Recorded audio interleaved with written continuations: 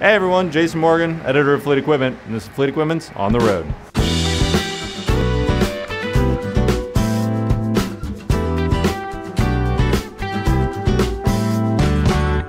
Let's talk about the importance of gear oils. Gear oils provide multiple important functions when it comes to the operation of gears and axles. As gear oils flow around axles, they help to cool the critical hardware components by carrying heat away and dissipating it. They also help to keep hardware components and assemblies clean by suspending contaminants which would otherwise lead to carbon, varnish, or sludge buildup. The last and arguably most important function of a lubricant is protection.